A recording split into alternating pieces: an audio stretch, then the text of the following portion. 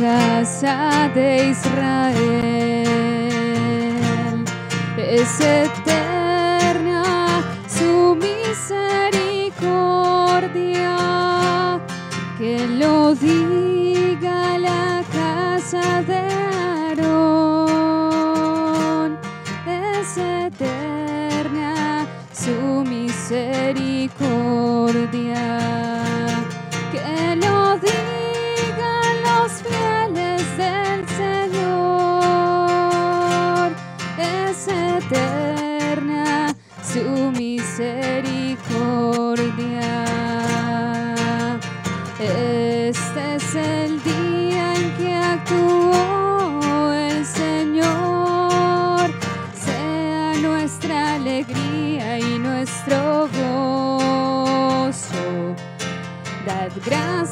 al Señor porque es bueno, porque es eterna su misericordia.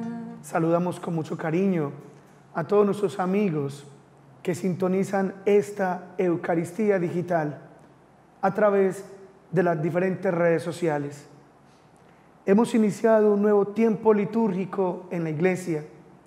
Desde el domingo anterior, primero de diciembre, iniciamos el tiempo del Adviento, que nos preparará para el nacimiento espiritual del niño Jesús. Los invito para que vivamos con mucha dedicación, fervor, este tiempo que nos prepara para la Navidad. Oramos en esta Santa Misa por el cumpleaños de Luz Estela Giraldo en Venezuela. También por la salud y el bienestar de la familia Antilla González y sus hijos. Y también por el eterno descanso de Clara Rosa Giraldo en su cuarto aniversario. Es mi querida abuela. Bienvenidos. Colocamos en este altar todas sus intenciones. En el nombre del Padre, del Hijo y del Espíritu Santo. Amén. El Señor que viene a salvarnos esté con todos ustedes. Con humildad, reconozcamos nuestros pecados delante del Señor.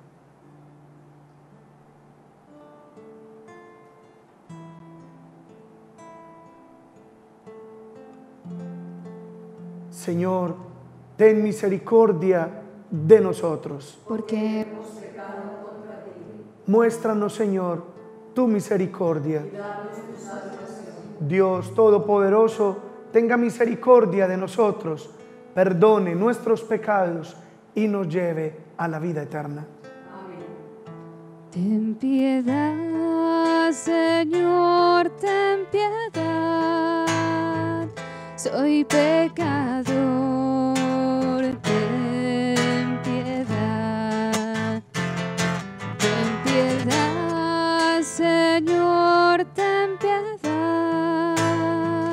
Soy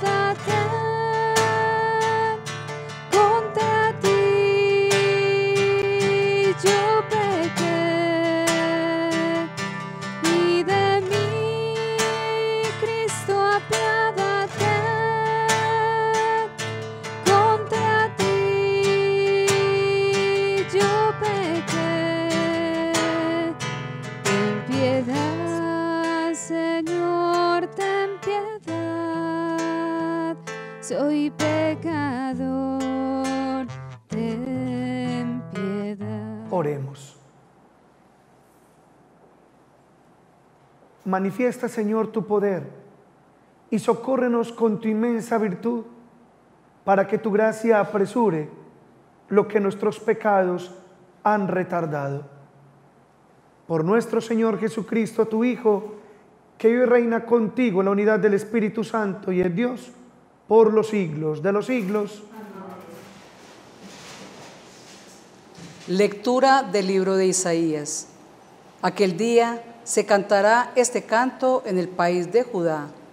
Tenemos una ciudad fuerte, apuesto para salvarla murallas y baluartes. Abrid las puertas para que entre un pueblo justo, que observa la lealtad. Su ánimo está firme y mantiene la paz, porque confía en ti. Confiad siempre en el Señor, porque el Señor es la roca perpetua. Doblegó a los habitantes de la altura y a la ciudad elevada. La humilló, la humilló hasta el suelo, la arrojó al polvo y la pisan los pies, los pies del humilde, las pisadas de los pobres. Palabra de Dios. Bendito el que viene en nombre del Señor. Bendito el que viene en nombre del Señor. Dad gracias al Señor porque es bueno, porque es eterna su misericordia. Mejor es refugiarse en el Señor que fiarse de los hombres. Mejor es refugiarse en el Señor que fiarse de los jefes. Bendito el que viene en nombre del Señor. Abridme las puertas del triunfo y entraré para dar gracias al Señor. Esta es la puerta del Señor. Los vencedores entrarán por ella. Te doy gracias porque me escuchaste y fuiste mi salvación. Bendito el que viene en nombre del Señor. Señor, danos la salvación. Señor, danos prosperidad. Bendito el que viene en nombre del Señor. Os bendecimos desde la casa del Señor. El Señor es Dios. Él nos ilumina. Bendito el que viene en nombre del Señor. Alabanzas y honor a ti, Señor Jesús. Alabanzas y honor a ti. Alabanzas y honor a ti, Señor Jesús. Alabanzas y honor a ti. El Señor esté con ustedes. Y con tu espíritu. Evangelio de nuestro Señor Jesucristo según San Mateo.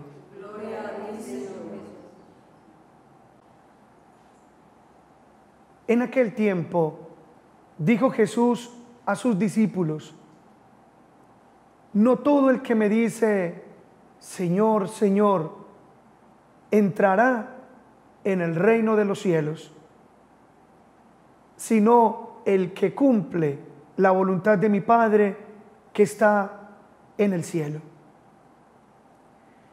El que escucha estas palabras mías y las pone en práctica, se parece a aquel hombre prudente que edificó su casa sobre roca. Cayó la lluvia, se salieron los ríos, soplaron los vientos y descargaron contra la casa, pero no se hundió, porque estaba cimentada sobre roca.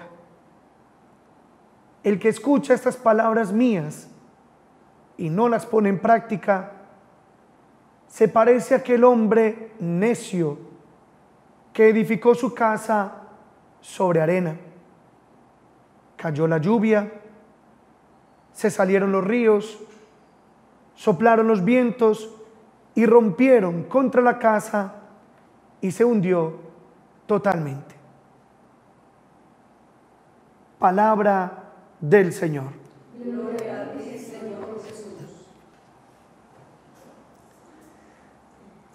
A partir de este Evangelio que hemos escuchado, quiero proponerles tres mensajes para nuestra reflexión en este día. El primero, dice el Señor en este Evangelio, que no basta decir, Señor, Señor, si no cumplimos la voluntad del Padre Dios. Miren amigos, muchas veces uno encuentra personas que se dedican a hacer mal, que se dedican a robar, que se dedican a delinquir, que se dedican a, sembrar la zozobra y el miedo en un barrio, en un sector, en una ciudad, en un país, en el campo, y con asombro y con desconcierto, muchos de ellos, no todos, pero muchos de ellos llevan en su cuello un rosario, llevan una cadena con un cristico, o llevan una medalla de la Virgen, o llevan un denario. Y uno se pregunta, pero ¿cómo? ¿Cómo es posible? ¿Cómo uno puede llevar un rosario, una camándula, un Cristo, una medalla de la Virgen y quitarle la vida a otro? Y extorsionar a otro. Y robarle las pertenencias a otro. Y hacerle daño a otro. Eso es inconcebible. Eso es incoherente. Por eso Jesús dice, no todo el que me dice, Señor, Señor, entrará en el reino de los cielos, sino el que cumple la voluntad del Padre Dios. Claro, uno puede llevar un rosario elegantísimo, uno puede llevar un Cristo precioso en el cuello, uno puede llevar un denario en su mano, uno puede santiguarse y hasta rezar oraciones e ir a la misa, pero si eso no coincide con una vida de rectitud, si eso no coincide, no coincide con una vida cristiana, de nada sirve, de nada sirve. Eso simplemente es una fachada, pero no una verdadera identidad de cristiano. Miren, he conocido personas que tristemente se dedican a la superstición, a la magia, a la hechicería, a la brujería. Y tienen ahí, en el lugar donde hacen sus prácticas, que son del todo reprochables ante los ojos del Señor, tienen ahí una imagen de San Judas Tadeo, o una imagen de la Virgen de Guadalupe, o una imagen de San Jorge, o una imagen de Santa Marta. Justamente hablaba con una persona que me decía, Padre, en un momento de desesperación acudí a un lugar de esto. Fui a un lugar donde me hicieron unos rezos extraños para alejar supuestamente un espíritu de ruina que tenía. Y sabe, Padre, yo creí que en aquel lugar, yo creí que ese lugar era confiable. Porque la señora que me leyó las cartas tenía la Virgen de Guadalupe y otros anticos que no recuerdo su nombre. Y yo le decía, ten cuidado, porque esos lugares, a esos lugares no debe de ir un cristiano de verdad. Eso es censurable y es mal visto ante los ojos del Señor. Nuestra vida no la rige el cosmos o los planetas o la posición de ellos, no. Nuestra vida la rige el que hizo el cosmos y el que hizo los planetas, Dios nuestro Señor. Además, una imagen del Señor, una imagen de la Virgen María, no es garantía de que uno está en un lugar confiable. Recuerda lo que dijo el Señor, no todo el que me dice, Señor, Señor, entrará en el reino de los cielos, sino aquel que cumple la voluntad de mi Padre. Por lo tanto, amigos, no todo el que tenga una imagen de la Virgen o de San Judas o un crucifijo significa que está siendo buen cristiano. Ojalá que sí, ojalá que sí. Como también hay personas que de muy buena voluntad tienen en su Facebook o en su Instagram la tienen llenas de imágenes del Señor o frases o mensajes bellísimos, llenas de publicaciones católicas. Eso está muy bien. Pero si eso no coincide con un verdadero testimonio de vida cristiana, de poco sirve. De poco sirve. Recordemos que la Biblia que muchos ven o la Biblia que muchos van a leer no es lo que nosotros publiquemos o escribamos, sino que la Biblia que muchos van a leer es nuestra propia vida, es nuestro propio testimonio, el cómo nos comportamos, el cómo vivimos. Por tanto, el criterio no es solamente tener a Jesús en nuestros labios, que hay que tenerlo, claro que sí, pero sobre todo vivir a Jesús en el corazón. Por lo tanto, primer mensaje, no todo el que dice Señor, Señor, entrará en el reino de los cielos. Segundo mensaje, te pregunto a ti, mi querido amigo, que estás detrás de esa pantalla, ¿qué tan profundas son tus raíces? Lo repito, ¿qué tan profundas son tus raíces? ¿Cómo saber si la raíz de un árbol es profunda? ¿Saben cómo? Muy sencillo, cuando llega la tempestad, cuando llega el huracán, cuando llega el ciclón, cuando llega la borrasca, cuando llega la tormenta. Los árboles de raíces profundas se mantienen en pie a pesar de la furia de la naturaleza. Pero los, árboles que no tienen raíces profundas perecen, son derrumbados ante la primera señal de tormenta que aparezca. Por lo tanto, ¿cómo saber si tus raíces son profundas? Sencillo, en la prueba, en la prueba lo sabrás. En la adversidad lo sabrás.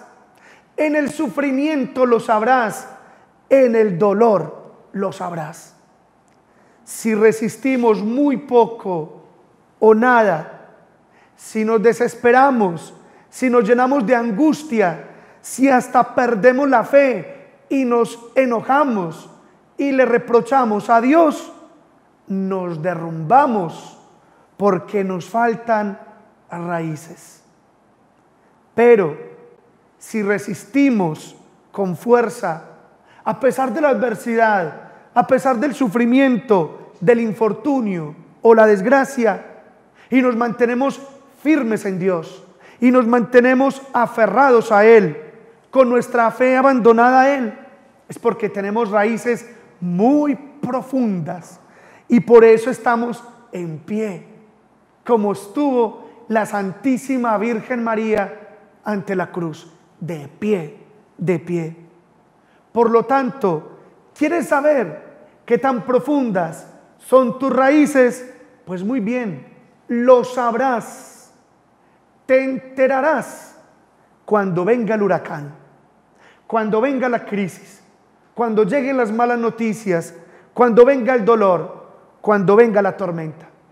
Ahí, ahí, justamente ahí sabrás qué tan profundas son tus raíces. Por eso, fortalece tus raíces, fortalecelas para que te mantengas en pie cuando llegue la adversidad. Padre, ¿cómo fortalecer las raíces de mi vida? Muy bien, con una vida espiritual sólida. Fortalecerás tus raíces con una vida de oración perseverante.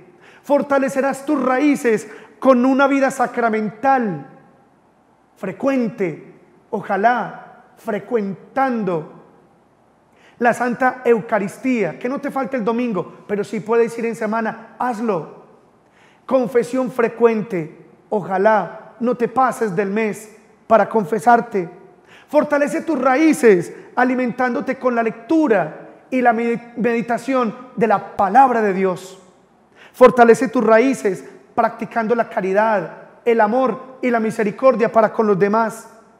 Y fortalece tus raíces en una relación estrecha, personal y amorosa con el Señor. Por lo tanto, segundo mensaje, pregúntate, ¿qué tan profundas son tus raíces?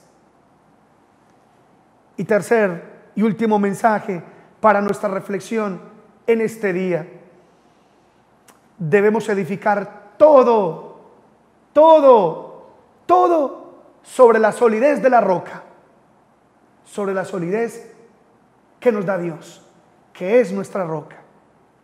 Por ejemplo, qué importante es construir familias sobre roca, que sean familias sólidas, bien consolidadas desde la fe, desde Dios. Si nuestras familias están bien edificadas, sostendrán las futuras generaciones. Miren, cuando uno no tiene amor familiar, uno no tiene fundamento, uno se queda sin piso. Por eso el dolor de un niño que ve que se le separa a sus padres es el dolor de perder su fundamento. Cuando uno tiene una familia que se ama, uno tiene sobre qué caminar, sobre qué saltar y uno no tiene miedo porque uno sabe que esto no va a fallar. En cambio, cuando un muchacho siente que su familia se le está destrozando, se le está despedazando, siente que pierde el piso y se hunde. El amor de la familia es el amor que da fundamento, es el amor que sostiene el corazón, que no nos deja hundir. Por eso las crisis que hoy hay en día de tristeza, de depresión, de pérdida del sentido de la vida, no todas, no todas, pero sí muchas de ellas tienen relación con la, con la falta de una buena vida familiar. Cuando uno no cuenta con una buena vida familiar, la vida ahoga y uno siente que uno no tiene piso. El sufrimiento de muchos adolescentes hoy en día es el sufrimiento de sentir que se quedaron sin casa, que se quedaron sin hogar, que tienen una casa o un apartamento lleno de aparatos, lleno de comodidades materiales, pero no tiene una casa llena de amor, de ternura, de cercanías, de afectos, de abrazos, de te quiero, que es lo que lo sostiene a uno realmente en la vida. Miren, con seguridad que ustedes han visto un programa en nuestra televisión, especialmente aquí en Colombia, tiene mucho rating. El programa se llama así, la Voz Kids. La Voz Kids. Allí se presentan niños desde los 15 hasta los, perdón, niños desde los 5 hasta los 15 años. Pues muy bien, hay algo que me llama poderosamente la atención y es lo importante que se convierte la, la familia para estos chicos. Y me llama la atención la capacidad que tienen esos muchachos que salen allí a cantar y la capacidad de sentir que los que los animan, los que los sostienen, los que los motiva, los que los lanza y los emociona y les da soporte, es justamente la pertenencia que ellos tienen a una familia. Pues bien, cada vez que miraba ese programa, veía cómo el muchachito, la muchachita salía y cantaba. Y los jurados estaban de espaldas y el niño o la niña salían a cantar, qué sé yo, una ranchera, una balada, una canción en inglés y mientras tanto los jurados de espaldas. Y el niño o la niña pues hacía todo lo mejor posible para cantar y guardar por unos minutos después, con su mayor esfuerzo de voz, para lanzar el grito que convencerá a Cepeda o a Maluma o a Sebastián Yatra o a Fanny Lu, no sé, de girar la silla. Porque claro, estamos ante una voz prodigiosa cuando las sillas se voltean y los jurados los premian y les dicen, muy bien, eres aceptado, tienes un sí. O cuando la silla se gira y ellos quedan en un equipo o en el otro, pues no hay problema. Yo comprendo la alegría que tiene ese chico. Pero se han dado cuenta cuando la silla no se gira o cuando les dicen que no ¿Se han dado cuenta cuando la niña salió y cantó lo mejor que podía cantar? O el niño salió y cantó lo mejor que podía cantar. Y sin embargo le dicen, no, esta vez no. Por este año no. Sí, tienes futuro, pero te, le falta afinación a tu voz. El conjunto no funciona. No transmites alegría. O sencillamente ninguno se giró y le hacen un chiste, acarician a la muchachita y le dicen tranquila, que tiene talento, que vuelva al año entrante. Pero siempre hay algo que me llama la atención. Y es que cuando el no es no, cuando ninguna silla se gira, cuando el niño o la niña no ha sido elegido, adivinen, adivinen a dónde regresa. Regresa a la familia. Sí, regresa a la familia. La familia siempre tiene la silla de frente. La familia que está en esa habitación le espera con los abrazos, le espera con las palabras de aliento, le espera con los besos, le espera con estas frases, mi amor, nos sentimos orgullosos de ti, mi amor, para nosotros tú ganaste, tú eres el mejor, tú eres la mejor. Y si por alguna razón no hay un lugar a donde regresar, no hay una habitación donde alguien esté saltando por esa persona. No hay alguien que te bese, no hay alguien que te abrace, no hay alguien que te diga que lo hiciste bien, que lo puedes volver a intentar, que cantaste bien, que eres el orgullo. No hay alguien que te dé ese último beso, no hay alguien que te dé ánimo, que alguien tenga la silla de frente, entonces ese niño o esa niña se sentirá demasiado vulnerable en la tristeza. He ahí por qué es tan importante edificar familias sólidas que lo puedan sostener a uno en todo momento, pero principalmente en esos momentos de adversidad, en esos momentos donde la, la tristeza y las lágrimas visitan a las personas. Pero también hay que educar a los hijos sobre roca, sobre la solidez de una buena formación. Para ello es muy importante que usted como papá sea papá y usted como mamá sea mamá. Para usted, ¿por qué hice eso? Porque es que de un tiempo para acá a los papás se les ocurrió la magnífica idea de que tienen que ser amigos de sus hijos, que tienen que ser camaradas, que se tienen que ganar el cariño y el afecto de ellos y no, la labor de mamá es ser mamá. Y la labor de papá es ser papá. El hijo no puede darse el privilegio de perder el único papá que tiene por ganar un amigo más. O de perder la única mamá que tiene por ganarse una amiga más. Amigos, amigas, puede tener muchos, pero papá solo tiene uno. Mamá solo tiene una. Por tanto, la mamá la labor de la mamá es ser mamá y, la labor del papá es ser papá. Y eso implica que desde que es pequeño el niño, papá y mamá tienen algo que no pueden negociar. Y eso que no pueden negociar es el principio de autoridad. Debe ser figuras de autoridad para sus hijos. Y un amigo, una amiga, no tiene ese principio. ¿Y qué es la figura de autoridad? La persona que sabe que es lo recto y que es lo torcido. La persona que sabe por dónde hay que ir y por dónde no se debe de ir. La persona que orienta la vida. La persona que muestra el sentido de la vida. La persona que enseña a sus hijos a vivir. Como también, como papás, como papás, no prometa lo que no va a cumplir. Y no amenace con lo que no va a cumplir. Si usted le dijo a la hija, mire Natalia Eugenia, si no me llega a las 12, no me vuelve a salir en toda la semana. Y la Natalia Eugenia le llegó a las 12 y media. Al otro día se volvió para la calle. Ay, mijito, ay, mijita, se le van a pasar por la galleta. Si usted dijo que tiene que llegar a las 12 y si no sale, no sale. Que chilló, que chille. Que pataleó, que patalee. Pero no sale aunque vaya acompañada del ángel exterminador. No, y si no, ¿para qué abrió la boca?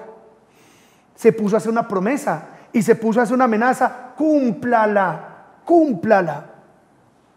Otra cosa importante, que como papás actúen siempre con el sentido de justicia, sin preferencias.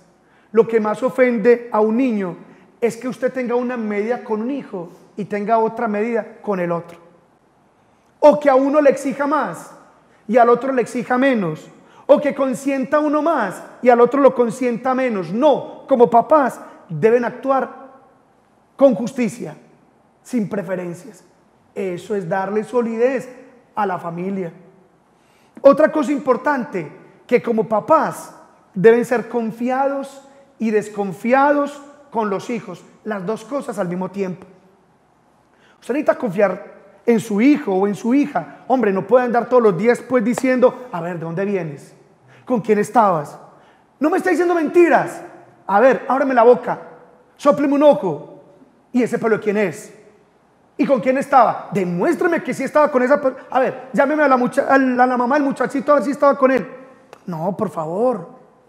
Es decir, ni tan desconfiado que parezca que usted se volvió paranoico, pero tampoco tan confiado que se aprovechen de tu ingenuidad. Aquí entre nos, papás, mamás, con la disculpa pues de que le estás organizando el cuarto a tu hijo o a tu hija, vea qué hay debajo de las camisas. Y con la disculpa que le está organizando los libros, mírele la mochila. De pronto encuentra una papeletica de algo que no debe estar. Y por favor no diga, padre, mi hijo es incapaz, mi hijo sería incapaz. No, todos son capaces. No existe el hijo o la hija incapaz. Todos son capaces por más queridos que sean. Recordemos que son muchachos en formación. Y un muchacho o una muchacha en formación se puede equivocar en cualquier momento. Otra cosa importante es que como papás deben de ponerse de acuerdo en la manera como van a educar a los hijos. Esto es, nunca se contradigan y mucho menos delante de ellos. Y siempre tengan unidad de criterios. Así no estén de acuerdo. Si no están de acuerdo, no están de acuerdo, solitos ustedes dos como papás en el cuarto, donde no escuchen ellos. Porque si escuchan, ja, se recargan ante el más débil, ante el más permisivo. Y por favor, por favor, díganles a sus hijos lo mucho que los aman, de las cosas que a uno le duelen como sacerdote, es cuando habla con los niños, con los adolescentes, con los jóvenes y le dicen a uno, Padre, mi papá nunca me dice te quiero, mi mamá nunca me dice te quiero. Qué dolor, qué dolor tener un hijo y callar esas palabras y no gastar las palabras bonitas diciéndole a su hijo o a su hija te quiero. O a veces el tema de conversación, para no escuchar más, es este. Mire Sebastián Arturo, ¿cómo, ¿cómo vas en el colegio? ¿Vas ganando o vas perdiendo? Vea jovencito, respóndame en el estudio. Como si lo único que tuviera que vivir Sebastián Arturo es, es, es estudiar. Pero es que Sebastián Arturo no ama. Sebastián Arturo no tiene soledad. Sebastián Arturo no tiene tristeza, no tiene alma, no tiene corazón. Parece que no, parece que no. Para un montón de papás, los niños, los adolescentes y los jóvenes son simplemente una nota de colegio. Una nota, simplemente una nota. O creen que ellos son frutos de un accidente. Incluso muchos chicos que intentan atentar contra sus vidas en verdad lo que están haciendo a sus 16, 17, 18 años es terminar lo que comenzó al segundo o al tercer o cuarto mes de embarazo cuando la mamá intentó abortarlos.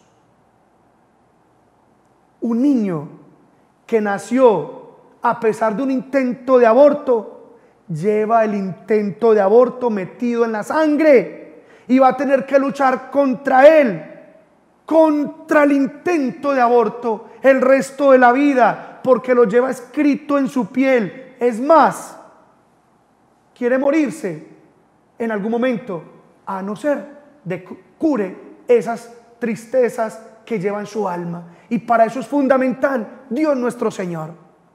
Lo dice el Salmo, Él sana los corazones destrozados y venda sus heridos y venda sus heridas.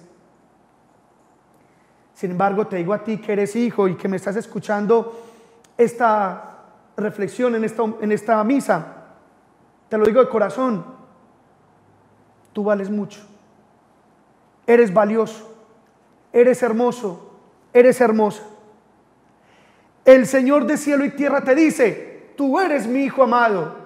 Tú eres mi hija amada. Yo te hice con amor. No eres un accidente. No eres fruto del azar. No eres error de un cálculo. No eres una equivocación. Eres la obra deseada de mis manos. Señor, que nuestra vida, que nuestra fe, que nuestros proyectos, que nuestras decisiones estén edificadas sobre ti, roca firme, roca sólida. Bendito sea Señor, mi roca, mi alcázar, mi libertador. Amén. Señor Dios y Padre nuestro, toma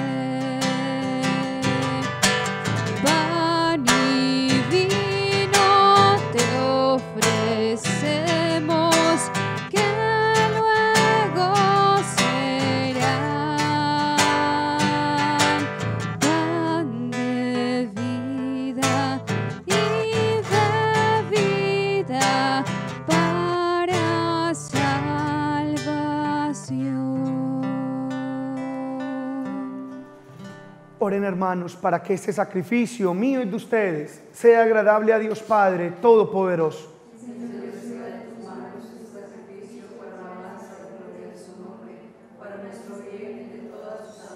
Recibe, Señor, los dones que te ofrecemos de los mismos bienes que nos has dado y concédenos que la oración que hacemos en esta vida temporal se convierta en premio y redención eterna.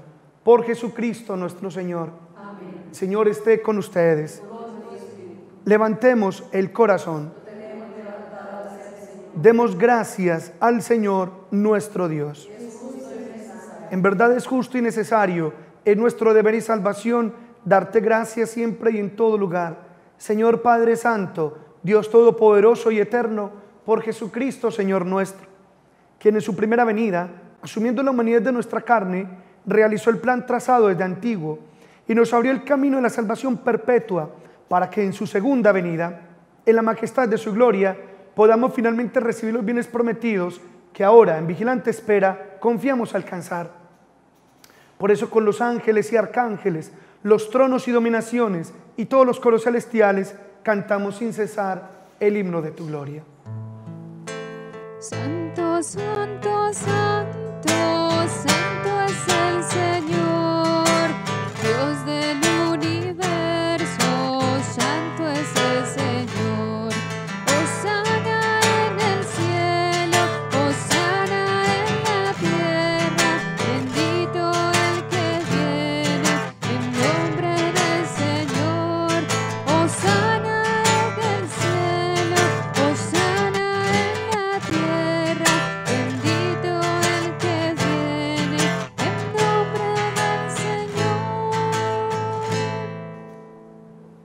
Santo eres en verdad, Señor, fuente de toda santidad. Por eso te pedimos que santifiques estos dones con la efusión de tu Espíritu, de manera que se conviertan para nosotros en el cuerpo y la sangre de Jesucristo nuestro Señor, el cual, cuando iba a ser entregado a su pasión, voluntariamente aceptada, tomó pan, dándote gracias, lo partió y lo dio a sus discípulos diciendo, tomad y comed todos de él, porque esto es mi cuerpo que será entregado por vosotros.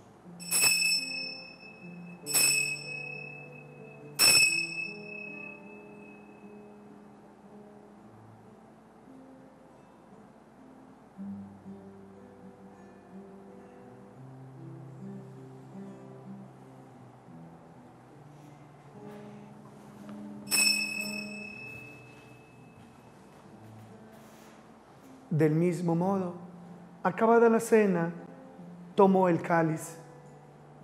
Dándote gracias de nuevo, lo pasó a sus discípulos diciendo, tomad y bebed todos de él, porque este es el cáliz de mi sangre, sangre de la alianza nueva y eterna, que será derramada por vosotros y por muchos para el perdón de los pecados. Haced esto en conmemoración mía.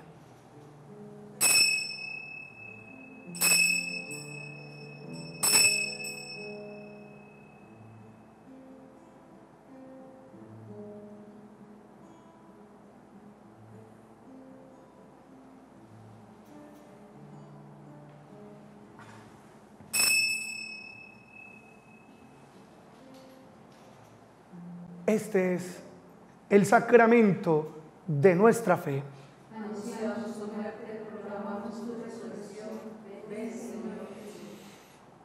Así pues, Padre, al celebrar ahora el memorial de la muerte y resurrección de tu Hijo, te ofrecemos el pan de vida y el cáliz de salvación, y te damos gracias porque nos haces dignos de servirte en tu presencia.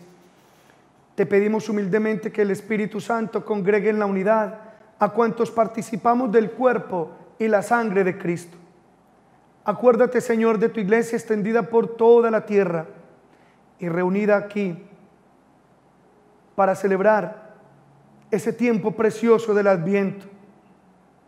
Y con el Papa Francisco, con nuestro arzobispo, Monseñor Ricardo Tobón Restrepo, sus obispos auxiliares, con mi obispo Fideleón y todos los pastores que cuidan de tu pueblo, llévala a su perfección por la caridad. Acuérdate también de nuestros hermanos que se durmieron en la esperanza de la resurrección. Declara Rosa Giraldo en su cuarto aniversario y de todos los que han muerto en tu misericordia, admítelos a contemplar la luz de tu rostro. Ten misericordia de todos nosotros y así con María, nuestra Madre, su esposo San José, los apóstoles y cuantos vivieron en tu amistad a través de los tiempos, merezcamos por tu Hijo Jesucristo compartir la vida eterna y cantar tus alabanzas. Por Cristo, con Él y en Él, a ti Dios Padre Omnipotente, en la unidad del Espíritu Santo, todo honor y toda gloria por los siglos de los siglos. Llenos de alegría, porque todos somos hijos muy amados por el Señor. Digamos confiadamente la oración que el mismo Cristo nos enseñó. Padre nuestro que estás en el cielo, santificado sea tu nombre. Venga a nosotros tu reino. Hágase tu voluntad en la tierra como en el cielo. Perdona nuestras ofensas, como también nosotros perdonamos a los que nos ofenden. No nos dejes caer en la tentación y líbranos del mal. Líbranos de todos los males, Señor, y concédenos la paz en nuestros días, para que, ayudados por tu misericordia, vivamos siempre libres de pecado, protegidos de toda perturbación, mientras esperamos la gloriosa venida de nuestro Salvador Jesucristo. Señor Jesucristo, que dijiste a tus apóstoles, la paz os dejo, mi paz os doy. No tengas en cuenta nuestros pecados, sino la fe de tu iglesia, y conforme a tu palabra, concédele la paz y la unidad. Tú que eres y reinas por los siglos de los siglos. Amén. La paz del Señor esté siempre con ustedes. Y con tu espíritu. Démonos fraternalmente el saludo de la paz. Cordero de Dios que quitas el pecado del mundo, el pecado del mundo. Ten piedad, Señor, ten piedad de nosotros, Señor,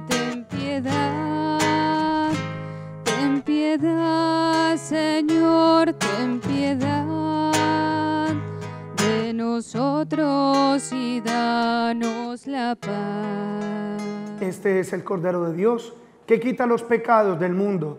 Dichosos los invitados a la cena del Señor.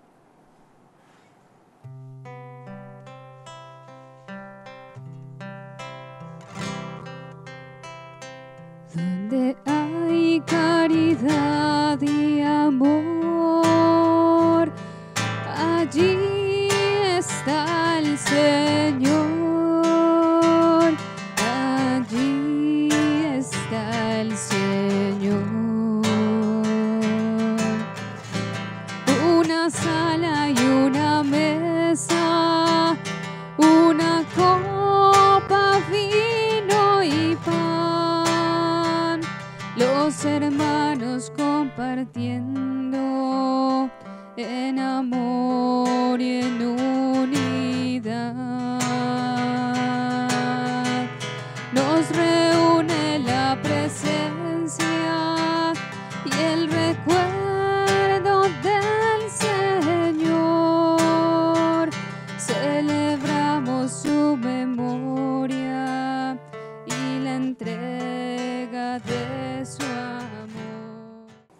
pedimos, Señor, que nos aproveche la celebración de estos misterios, con los cuales nos enseñas, mientras vivimos en medio de las cosas pasajeras, a descubrir el valor de los bienes eternos y a poner en ellos nuestro corazón. Por Jesucristo nuestro Señor. El Señor esté con ustedes. Y la bendición de Dios Todopoderoso, Padre, Hijo y Espíritu Santo, descienda sobre ustedes y los acompañe para siempre.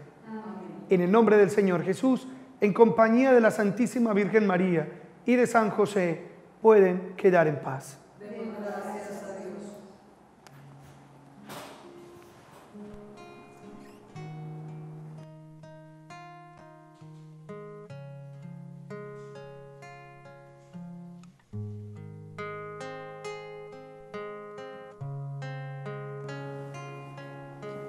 Dios,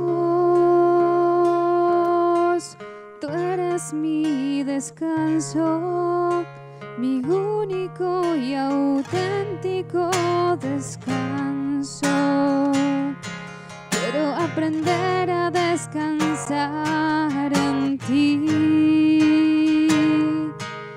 Quiero aprender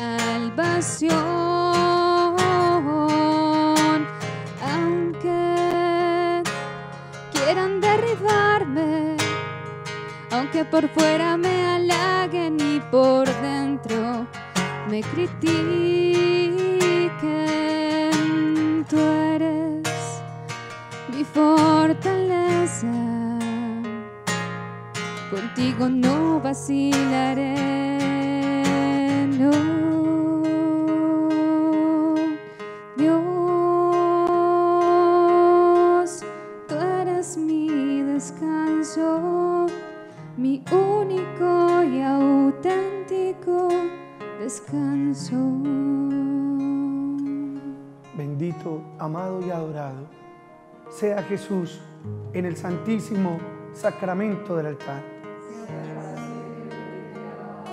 Mi Jesús sacramentado es mi dulce amor y mi consuelo.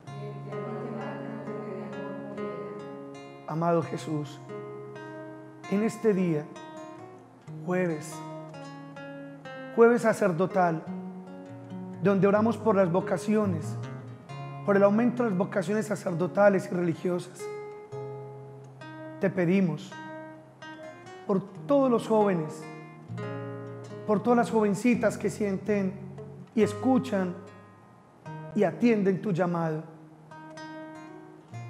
para que su vocación la cimienten y la edifiquen sobre ti, no sobre intereses personales, no sobre intereses mundanos, sino sobre ti, para que sean auténticas vocaciones que en un futuro puedan glorificarte y puedan ayudar las almas a llegar a ti. Oramos, oramos Señor en este día por todos los que en estos momentos se hunden en la tristeza, en el dolor, en el sinsentido, para que ellos, Señor, abran su corazón a ti y encuentren donde apoyarse, donde levantarse y donde sostenerse. Tú que eres la roca, tú que eres el cimiento que no nos deja hundir. Oramos, Señor, por todos los enfermos, por todos los que nos piden oración, por tantos amigos digitales que escriben sus intenciones, los encomendamos a ti. Que tú seas, Señor, el punto donde ellos se puedan sostener, la roca que no los deja hundir. Bendito, amado y adorado sea Jesús en el santísimo sacramento del altar. Sea para siempre bendito y Mi Jesús sacramentado es mi dulce amor y mi consuelo.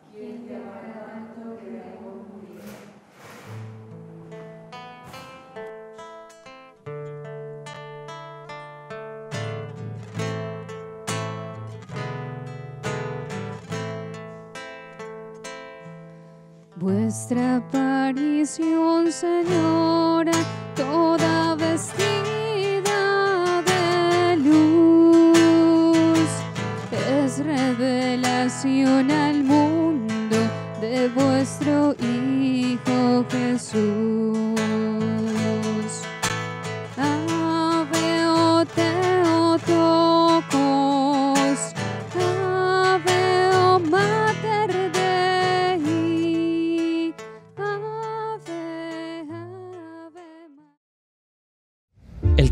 Santidad comienza con un sí a Dios. Abre los oídos de tu corazón y escucha El Santo del Día. Visítanos en Facebook y en nuestro canal institucional de YouTube Amén Comunicaciones y en el canal personal Padre Carlos Yepes.